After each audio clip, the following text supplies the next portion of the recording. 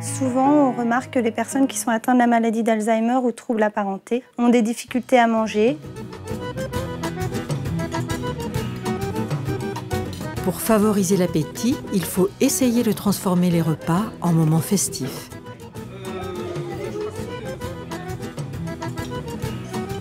Si malgré tout votre proche a du mal à manger, incitez-le à manger pendant les repas.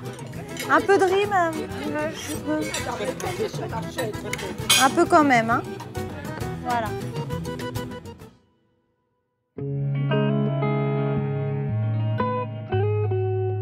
Souvent, on remarque que les personnes qui sont atteintes de la maladie d'Alzheimer ou troubles apparentés ont des difficultés à manger ou oublient de manger ou ont des troubles alimentaires de mastication.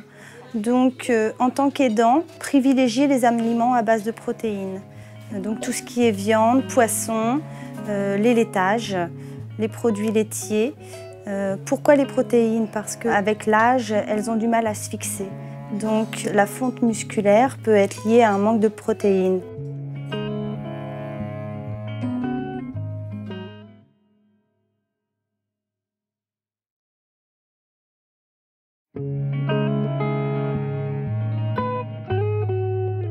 Normalement, votre médecin traitant a un suivi de, son patient, donc pèse la personne une fois par mois. S'il se rend compte que la personne a en effet grossi, euh, peut-être euh, corriger quelques erreurs, c'est-à-dire euh, trois repas par jour équilibrés, éviter le grignotage, l'inciter à manger plus des fruits, des légumes, éviter tout ce qui est à base sucrée, mais pas de restriction alimentaire.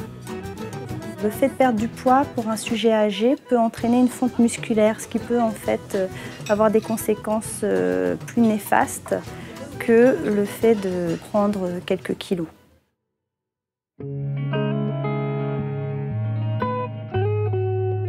Avec l'âge, la sensation de soif disparaît, on le remarque chez les personnes âgées. Donc comment pallier à ça? Vous me disiez que vous buvez du thé à 4 heures. Eh ben, on fait du thé, on met chauffer la bouilloire. Vous me montrez? On va le faire Allez, moi j'ai envie de boire un thé. Allez. Vous tenez le verre. On sait qu'il faut boire un litre et demi d'eau par jour. De l'eau gazeuse, des sirops. Bon, alors maintenant, il faut un sachet. D'accord. Allez, je vous laisse faire. Si votre parent aime le café, pourquoi pas lui proposer des décaféinés. Voilà. Alors je vais mettre dedans. Les soupes, les tisanes. Toute solution alternative est bonne à prendre en compte pour l'hydratation. Est-ce que vous voulez le boire, vous, le thé? Oui, mais il est trop chaud pour l'instant.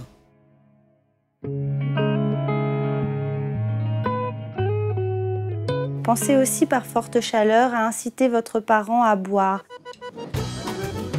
Pas forcément en grande quantité, mais des petites gorgées, qu'elle s'humidifie le visage, qu'elle soit dans une pièce aérée. Pensez aussi à ces conseils si votre parent a de la fièvre ou même en cas de diarrhée.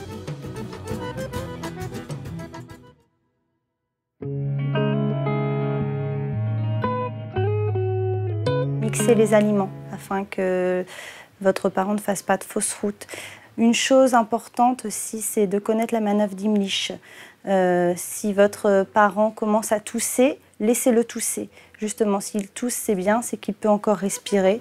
Vous pouvez aussi exercer quelques petites tapes dans le dos. Et ensuite, la manœuvre d'Imlich sera vraiment nécessaire si vous voyez que la trachée est bloquée et qu'un aliment, justement, obstrue la trachée et l'empêche de respirer.